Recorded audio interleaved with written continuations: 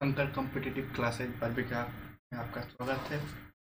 आइए आज R R B N T P C C B T two का जो प्रीवियस ईयर का पहले पेपर हुआ था, उसी से ये जी एस और जी के का क्वेश्चन है यहाँ पे। और ट्वेंटी फाइव क्वेश्चन है ट्वेंटी फाइव क्वेश्चन ये है।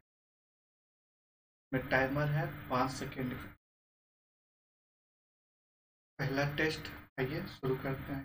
पहले क्वेश्चन पाँच सेकेंड के टाइम में आपको आंसर देना है। आप इसका कितना सही करते हैं, कितना गलत कमेंट में ज़रूर लिखें।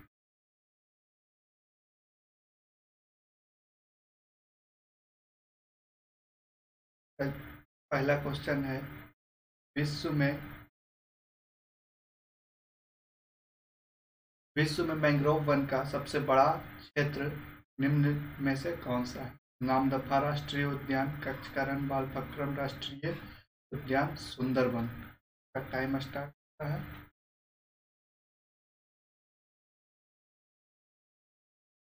सही आंसर है सुंदरवन विश्व में मैंग्रोव वन का सबसे बड़ा क्षेत्र कहाँ? सुंदरवन में। अगला क्वेश्चन भारतीय रेलवे की अंतर्राष्ट्रीय पर्यटक ब्यूरो सुविधा।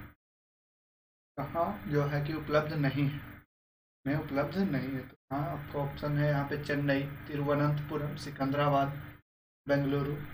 चारों ऑप्शन में आपको सही उत्तर चुनना है। स्टार्ट पाँच सेकंड के टाइम में आपको देना है। उसके बाद वो जो आंसर रहेगा वो अपने आप येल्लो हो जाएगा। यानी कि यहाँ पे क्या है? तिरुवनंतपुरम। भारतीय रेलवे की अंतर्राष्ट्रीय पर्यटक ब्यूरो सुविधा तिरुवनंतपुरम में उपलब्ध नहीं है। अगला क्वेश्चन तीसरा है, एक भारतीय हल्के लड़ाकू विमान का नाम क्या है? चेतक, तेजस, रुद्र या ध्रुव?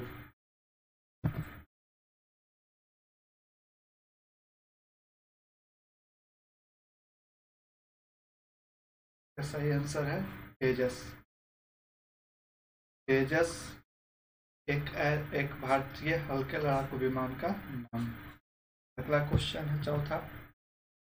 सूचना प्रौद्योगिकी के संदर्भ में नई उपयोगी जानकारी प्राप्त करने के लिए पहले से मौजूद बड़े डेटाबेस पहले से मौजूद बड़े डेटाबेस की जाँच की प्रक्रिया को क्या कहा जाता है? सिमुलेटिंग माइनिंग रिसोर्सिंग हैविंग आपको जवाब देना है पाँच सेकंड में।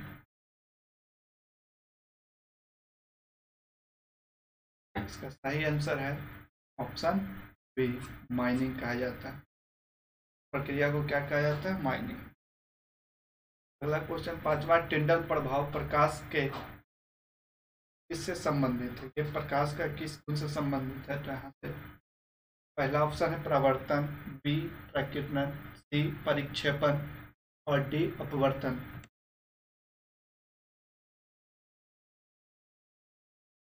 यहाँ ऑप्शन बी सही है, प्रकीर्णन।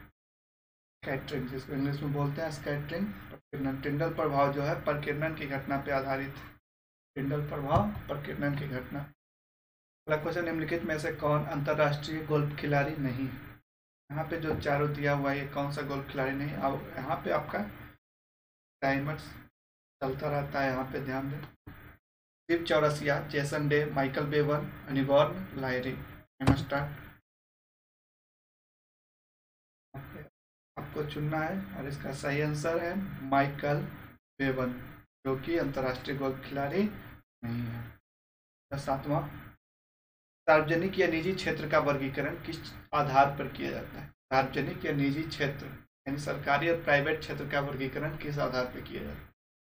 पहला, इसमें कर्मचारियों की सेवा शर्तें, कार्यरत व्यक्तियों की संख्या पे, गतिविधि गतिविधि क्या है? गतिविधि की प्रकृति पर या स्वामित्व पर हो।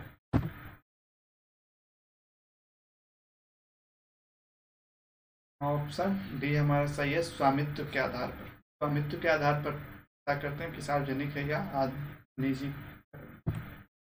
अगला क्वेश्चन है, आठवां प्रसार भारती एक स्वायत्त निकाय है, जिसके अंतर्गत आता है। क्या आता है? यहाँ पे ऑल इंडिया रेडियो दूरदर्शन और बीएसएनएल ऑप्शन बी है। ऑल इंडिया रेडियो और दूरदर्शन दोनों ऑप्शन सी केवल ऑल इंडिया रेडियो या केवल Doordarshan start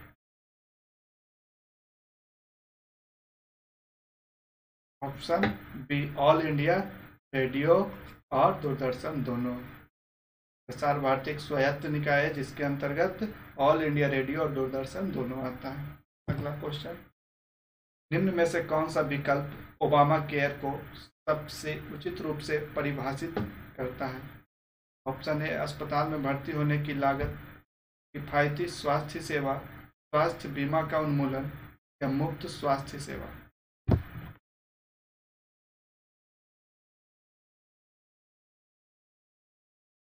ऑप्शन बी सही है, किफायती स्वास्थ्य सेवा।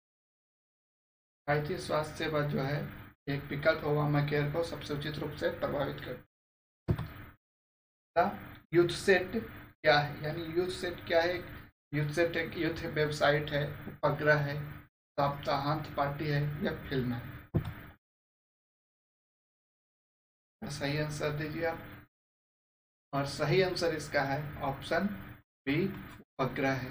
यूथ सेट क्या है? एक उपग्रह है। और ये सभी जो प्रश्न है, ये सब C B T two C two में पूछे जा चुके हैं।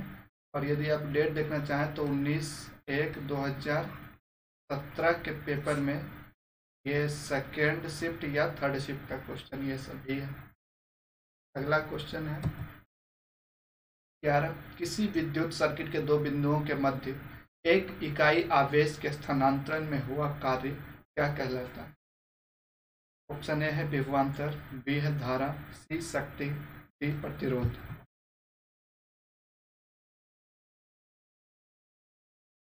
का ऑप्शन ए सही है विभवांतर। विद्युत सर्किट के दो बिंदुओं के मध्य एक इकाई आवेश का स्थानांतरण हुआ कार्य विभवांतर कहलाता अगला बारह नंबर रण उत्सव।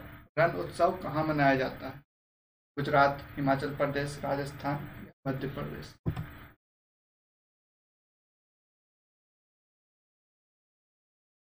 सही ऑप्शन ए गुजरात। रण उत्सव कहाँ मनाया जाता है? गुजरात में मनाया जाता है। अगला क्वेश्चन थर्टीन पर पोषित पोषण की एक पद्धति नहीं है। इनमें से कौन जो है पर पोषित पोषण की पद्धति नहीं है? पहला परजीवी, या जिसको बोलते पैरासाइटिक प्राणिसम या होलोजोइक स्वचालित ऑटोमेटिक मृत पोषित सेप्रोटॉपिक का टाइमर स्टक इसका सही आंसर है स्वचालित। स्वचालित जो है परपोषित पोषण की एक पद्धति। अगला क्वेश्चन है, चौदह नंबर। भारतीय कृषि अनुसंधान परिषद आईसीएआर का मुख्यालय कहाँ स्थित है? Option A New Delhi B Bengaluru C Dehradun D Mumbai.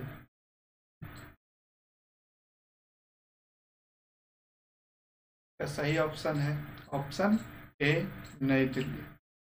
भारतीय कृषि अनुसंधान कहाँ? नई दिल्ली कृषि अनुसंधान परिषद आई सी ए आर पंद्रह। जिस रासायनिक अभिक्रिया में उष्मा निकलती है, उष्मा निकलती है, अभिक्रिया को क्या कहते हैं? ए, उष्मा छेपी, बी, संयोजन, सी, उष्मा शोषी डी, अपघटन।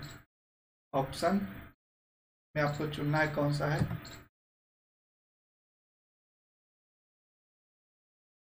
ऑप्शन ए सही है उष्मा छेपी जिस रासायनिक अभिक्रिया में उष्मा निकलती है, उसे क्या कहते हैं? उष्मा छेपी और उष्मा अवशोषण होती है, उसमें महसूस। यानी ऑप्शन ए इसका सही है। अगला क्वेश्चन सोलह नंबर, भोजन नली की दीवारों के संकुचन और प्रसरण को कौन सी गति कहा जाता है? ए है क्रमाकुंचन, बी जठर संबंधी, सी दोलनी, डी अनुशिथिलन।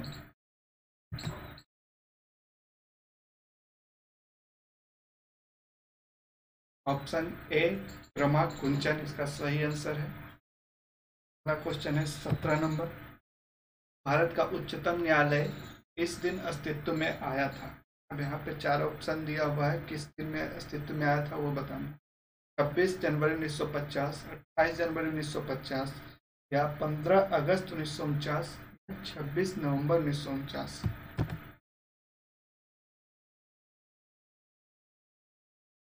सही ऑप्शन है option B, twenty eight January nineteen fifty. अगला अठारह नंबर, प्रकाश ऊर्जा से पानी के अणु के विखंडन की प्रक्रिया को क्या कहा जाता है? प्रकाश ऊर्जा से पानी के अणु के विखंडन की प्रक्रिया को क्या कहा जाता है? तने है रेडियोलाइसिस या विकिरण अपघटन, इलेक्ट्रोलाइसिस या विद्युत अपघटन, फोटोलाइसिस या प्रकाश अपघटन, थर्मोलाइसिस या ताप अपघटन। टाइम स्टार्ट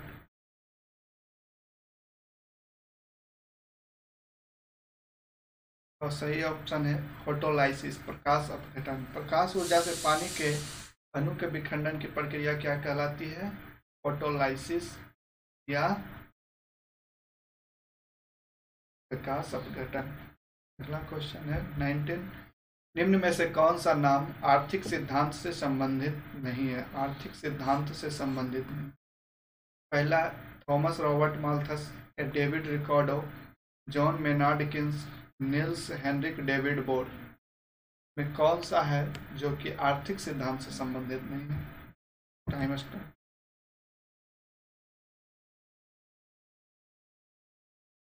सही ऑप्शन है option D Niels Henrik David Bohr tenth number अर्थशास्त्र में बहुत गहरी, लंबी और दर्दनाक मंदी को क्या कहा जाता है? बहुत गहरी, लंबी और दर्दनाक मंदी को क्या कहा जाए ऑप्शन ए है अवसाद अपस्फीति स्थिति या मूल्य ह्रास कहा जाता है चार ऑप्शन में टाइम स्टार्ट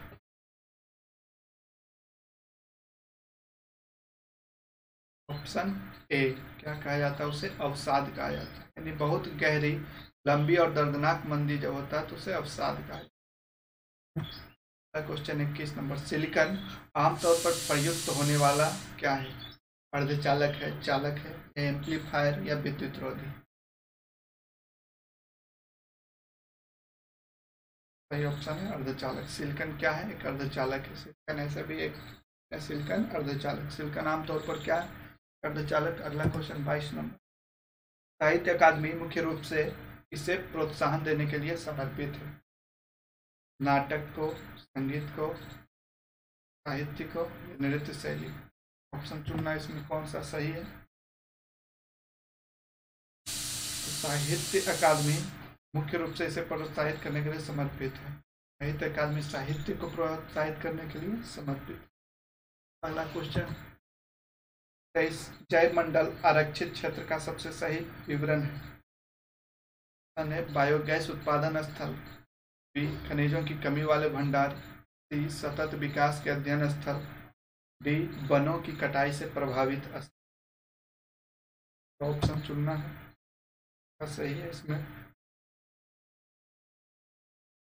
ऑप्शन हमारा सही है, सतत विकास के अध्ययन स्थल अगला क्वेश्चन है ट्वेंटी फोर्थ खुद नृत्य। कहाँ का एक प्रसिद्ध नृत्य रूप है? खुद नृत्य? यहाँ का प्रसिद्ध नृत्य रूप? मध्य प्रदेश, जम्मू कश्मीर, उड़ीसा या राजस्थान?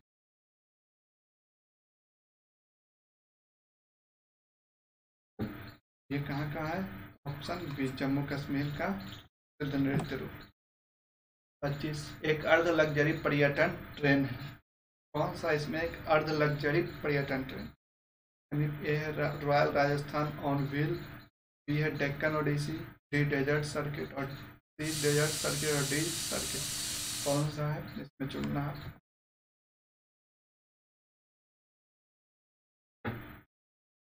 ऑप्शन सी इसका है डेजर्ट सर्किट। डेजर्ट सर्किट एक